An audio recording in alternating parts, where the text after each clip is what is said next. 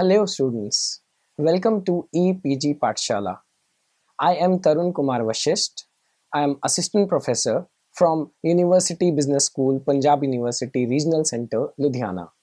Today we are here to discuss one of the important topics and that is module number 27, Ethics, Social Responsibility and Strategic Management which is there under the paper Strategic Management under the subject Management. Students, after listening to my talk and going through the corresponding e-text, you should be able to understand the concept of ethics, ethical and non-ethical behaviors and ethical dilemmas, role of ethics in strategic management, then types of unethical behavior being perpetrated by employees and other stakeholders in organizations, the underlying reason of perpetrating these unethical behaviors, then we would ensure with a framework that the people perform ethical behaviors in the organizations.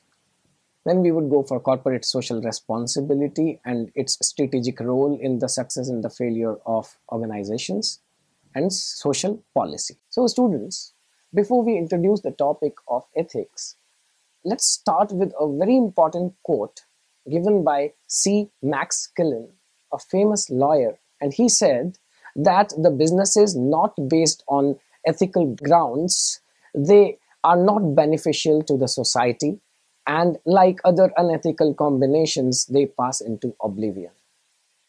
Now, if we listen to this particular quote, we would see that the role of ethics is very, very important for the success and the failure of an organization.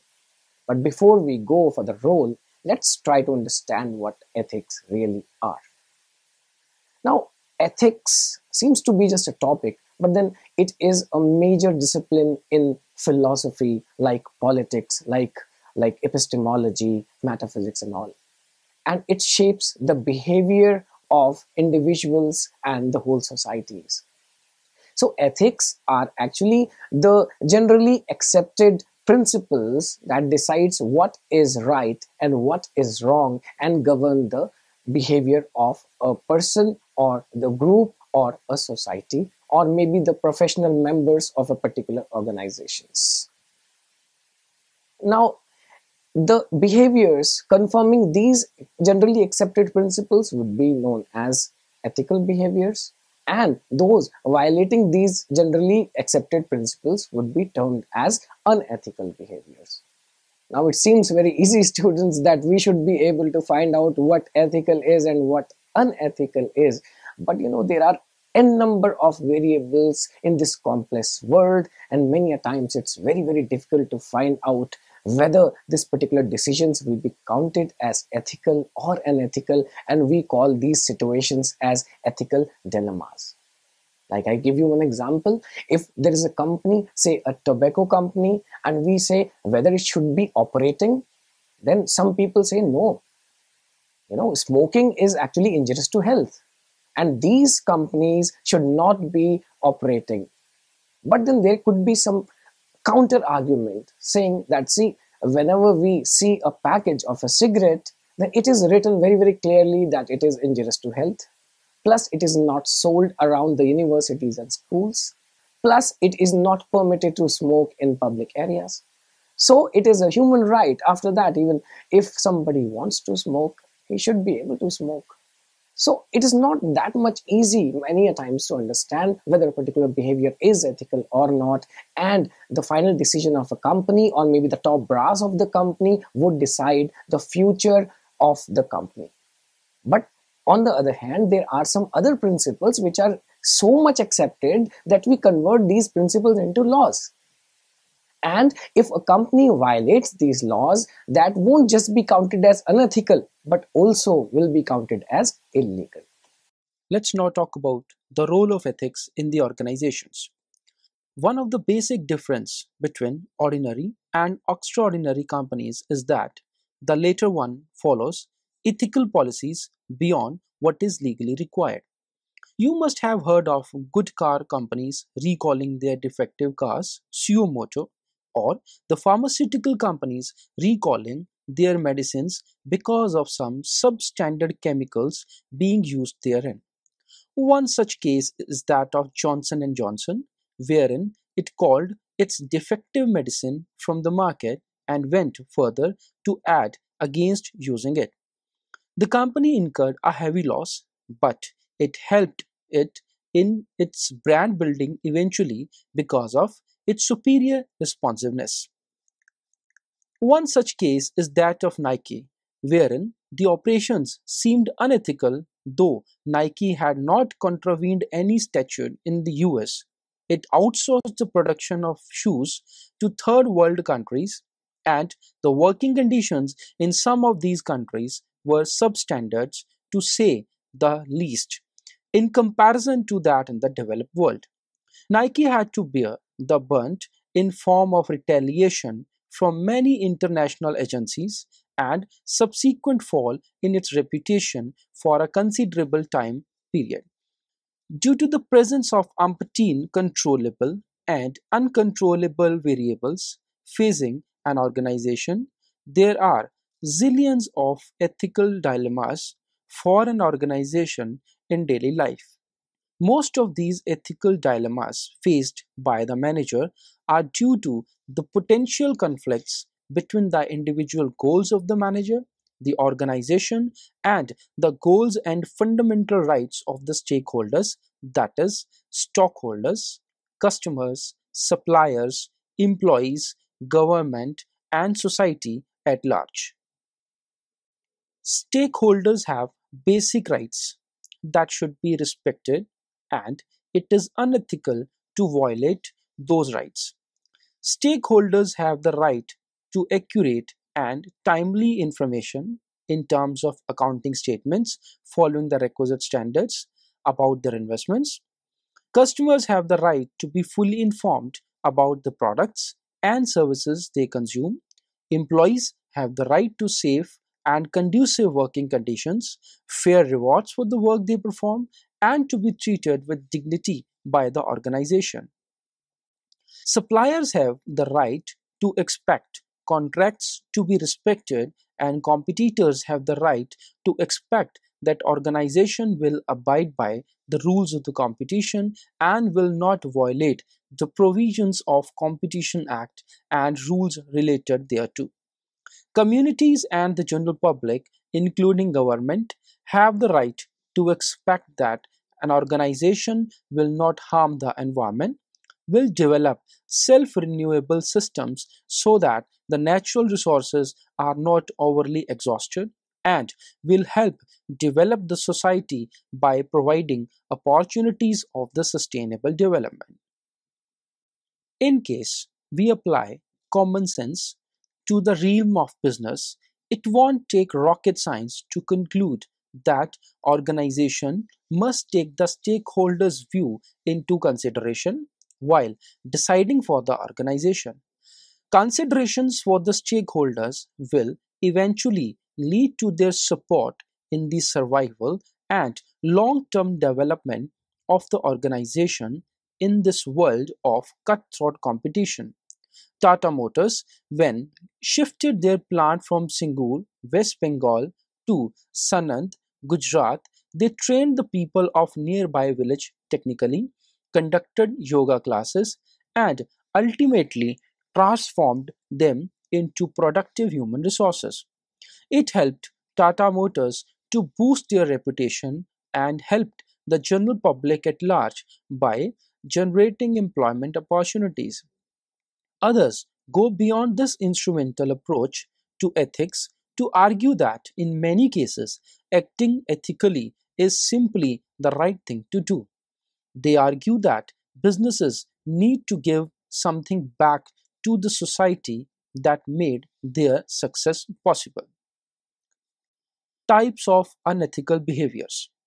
Oftentimes, unethical behavior occurs due to agency problem. More specifically, when the manager puts her interest or that of the organization above the goals or the fundamental rights of one or more stakeholders. Let us have a look at some of unethical behaviors arising out of such circumstances. The very first can be self-dealing. It occurs when the managers find a way to feather their own nests with corporate monies through misusing the resources of the organization for their personal use beyond what is legal. Information manipulation.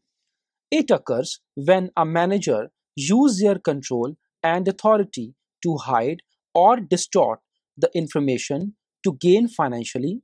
The classic case of Satyam Computers is a paragon in this regard, wherein Ramalinga Raju manipulated the financials of the company to get more funds for the company and to boost the morale of the stakeholders of the company. Eventually, the superstitious dealings were divulged to the world when it became impossible for him to carry it on any further. Many a times, information being manipulated is non financial too. One example could be when a pharmaceutical company suppresses its internal research wherein it observes long term, not life threatening side effects of one of its best selling drugs. Anti competitive behavior. It covers a range of actions that exploits the current and potential competitors. One of such action is to show monopolistic behavior by selling goods at such a low price that all other smaller competitors are ruined with the passage of time. The similar behavior at macro level, wherein the nations are involved, is known as anti dumping. Other such action is opportunistic exploitation. A large company exploits the suppliers or intermediate customers in the value chain by forcing an unequitable contract having odds in the favor of the company. The power to breach a contract or redefining the terms of contract midway comes from the bargaining power lying with the company due to its large size and dynamics of the industry. Yet another action in this category is to form a coalition by two three largest organizations in a particular industry when these companies decide the price of a product by illegally controlling the supply of the product or otherwise. It leaves no choice with the customers but to buy the product at an artificially higher prices. The next one is substandard working conditions. Substandard working conditions arise when the organization pays less than the legally set standards or underinvests in the working conditions. Aforementioned Nike case falls in the same category. In India, state government proposes minimum wages time to time and all the firms in the organized sector are legally bound to pay more than this level of wages. Labor laws like Factories Act 1948, Contract Labor Act 1970, Workmen Compensation Act 1923, etc., help provide conducive working milieu for the employees. Environmental degradation.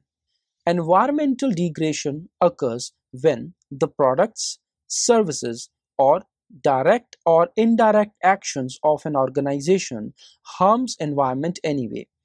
Air pollution, water pollution, and soil pollution due to inappropriate dumping of harmful chemicals, sound pollution, and heat waves due to furnace and heavy machines, and deforestation resulting in soil erosion and environmental imbalance are some types of the environmental degradations. Recently observed debacles like global warming and nuclear leakages have made the government to focus on environmental friendly policies. All the big manufacturing units were ordered to base outside Delhi due to the increasing level of pollutions in the capital of India. Organizations are expected to treat the water and fumes before releasing them to the atmosphere. Certifications like ISO 14001 are getting popular day by day to acknowledge and encourage environment friendly and sustainable practices. Corruption Corruption as an unethical action seems self explanatory. Corruption can be perpetrated in zillions of the ways managers pay bribes, manipulates financial statements, do money laundering, misappropriate funds, etc. Subrata Roy, aka Sahara Shri, has been put behind the bars for misappropriating the money of the investors into undisclosed activities. Ramalinga Raju's case, already discussed above, can also be put into the category of the corruption. Students, now let us discuss the underlying reasons of people behaving unethically in the organizations. One of the major reasons is the different cultures.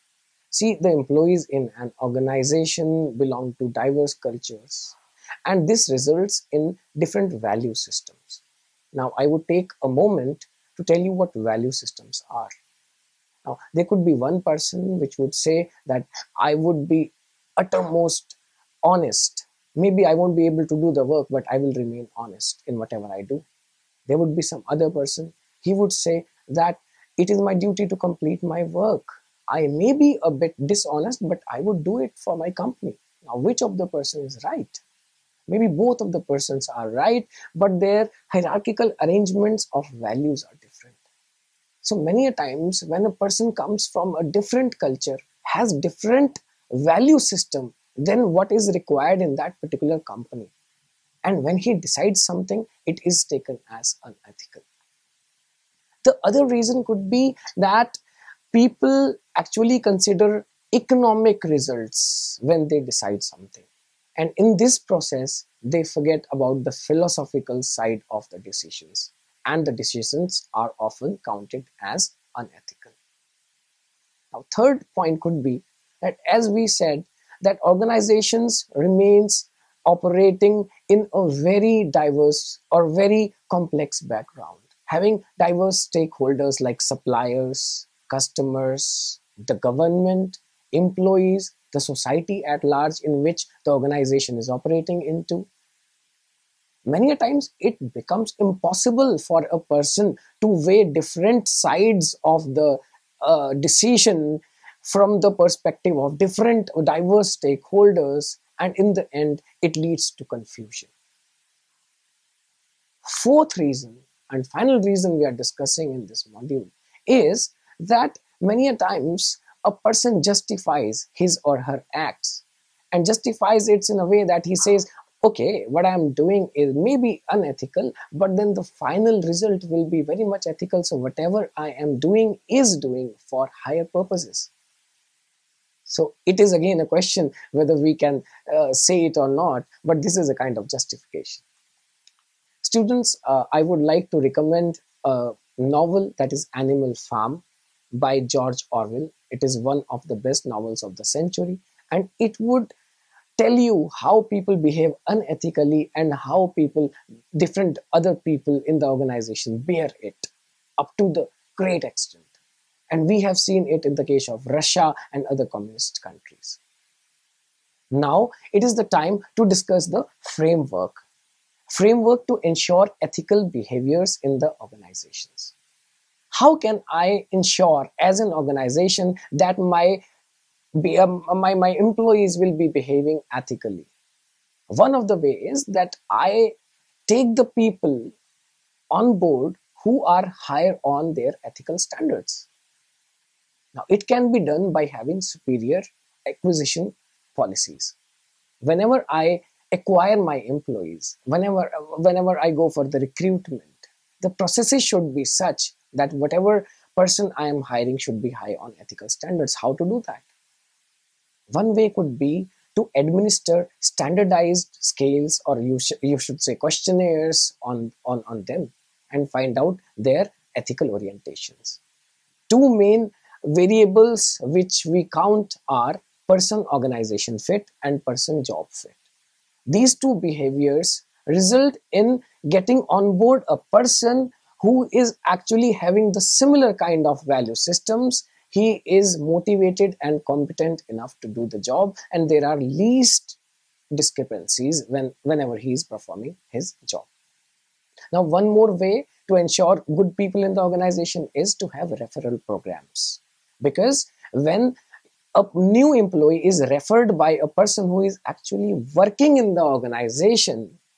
The person knows the new employee very well and he knows the organization very well. So there will be a better fitment of people or new recruits in the organization. The same objective may also be achieved with the help of reference checks. Because when we ask the previous employers of a person how he was behaving in the organization and maybe if we check his credentials maybe uh, police verification and all then even with this particular uh, way we can ensure that the person will be uh, an appropriate person in our organization. The next is promotions. Value systems must be given due importance in promotion decisions and only those people must become the top brass of the organization who qualify on the adherence of essential ethical values. Code of conduct. Every organization must have a code of conduct to guide the employees on how to decide to be ethical. Standing orders provided for the workman based upon Industrial Employment Act 1946 provides an example in this regard. Now, students,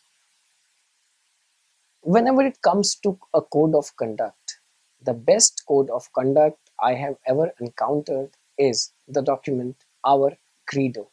It belongs to one of the most admired companies in the world, and that is Johnson and Johnson. I'm sure you all must be familiar with the products like band-aids and other such products belonging to that this particular company. Now, if you go through this document or credo, you would find that the organization Johnson and Johnson it takes care up to the maximum about all the diverse stakeholders of the organizations like mothers and fathers of the patients maybe the children maybe the nurses and the doctors and the society at large. This particular credo what it does is that it prioritizes the actions of the organizations and whatever implementation of plan is whatever strategies are made by the organization they are strictly based on our credo. Now what is credo? Credo is the document you are believing in like your credentials and it really sticks to the credo. So i would urge you people to please go through it as many times as you can because it is really, really very interesting. Decision making processes. Beside the culture that favors and encourages ethical behaviors, an organization must have practical and executable guiding principles to direct an employee to be sure that her decisions made by them are always ethical. To ensure that they must be able to systematically analyze the implications of the decision made by them. Some experts have designed some questions, and the answers of these questions in yes ensures that the decisions made are ethical. These are the questions like number one, does my decision fall within the accepted values or standards that typically apply in the organizational environment? Number two, Am I willing to see the decision communicated to all the stakeholders affected by it? For example, by having it reported in newspaper or on television. 3. Would the people with whom I have a significant personal relationship, such as family members, friends, or even managers in the other businesses, approve of the decision? Ethics officers Having ethics officers is one of the important ways to ensure that the organization adheres to the ethical standards through sound code of conduct. Ethical officers are qualified and competent to discern ethical actions from the unethical ones. In many companies, ethics officers also acts as internal ombudsperson who deals with the complaints and suggests changes in the processes and systems so that the organizations behaves ethically to employees adhere to the code of conduct. Strong corporate governance. Strong corporate governance practices like sure that the employees adhere to ethical norms. Practices like having outside independent directors are most important to ensure that managers don't make decisions to cut their own eggs or to have ulterior motives. Had the companies like Satyam Computers, Enron, and WorldCom had the independent directors, the companies would not have fallen for unwanted fatal practices and their managers would not have used the resources of the company as their own money. Moreover, following benchmarks for reporting financial results helps a long way. Assertive training. Assertive training, popularly known as AT in corporate world is very important to instill the employees with the courage to say no in the pressure situations. It is a common fact that employees, when pressurized by the authorities, strike a compromise on their ethical standards. Groupthink and group shifts are common occurrences in the organization. To install proper systems to encourage people to divulge the malpractices of the company is an effective way. Therefore, whistleblowing procedures must be instituted in every organization. Last but not the least, it must be understood that behaving ethically is not only a virtue but also a mantra for immaculate reputation and long-term success of any organization. Friends, next we will discuss a very important issue for organizations. And I said very important because these days it is a buzzword. That is social responsibility and its strategic role in the organizations. Now, CSR or corporate social responsibility are the activities which are voluntarily done by an organization for the good of the society. Many times the society they do voluntarily belong to their area or somehow related to their area and many other times they are very much unrelated to the areas. Now there are different famous personalities talking against and for these activities so if you are in the camp of ralph nader you would say that the company has great resources and you know when you have great power it comes with great responsibilities. So such big companies like ExxonMobil, say in India, ONGC, and other such big Tata companies or Reliance companies or maybe PSUs, they have the resources and capabilities to transform India into a better country. So why not do that? Plus, they are taking different resources from the society itself. And maybe they are polluting the society or maybe the environment in the process. So why shouldn't they give something back to the society? So this is a very nice thought. But then milton friedman you must have heard his name. He's, he was a great economist. He said that the business of business should just be business because if i am doing a business and in the way i'm donating something to the organization then because I say I'm, I'm making a temple. Okay. Now, I won't be able to make that efficient use of money in making the temple as efficiently I do my operations. So, in a way, I'm destroying the wealth. See, I cannot do such responsibilities better than the professional temples. Why should I do that? And in the way, if I am donating money to the society and doing different activities uh, for the society because my law says it and in the process i become unprofitable and i myself become a kind of a burden to the society as an organization. And ultimately i have to fire some people. How good are these activities? So these are two different views about social responsibility but then our neutral view could be that organizations really can do a lot for the society because they are resource rich and they have the actual capabilities. So what they could do is that they could plan such voluntary activities related to their own areas. Look at wipro. Wipro does it in the field of education. It invests a lot and has different ngos investing in education now birla is into construction. He it, it, it builds very good temples and those temples are organized very well. Tata sons tata sons uh, trust is there in diverse areas really transforming india.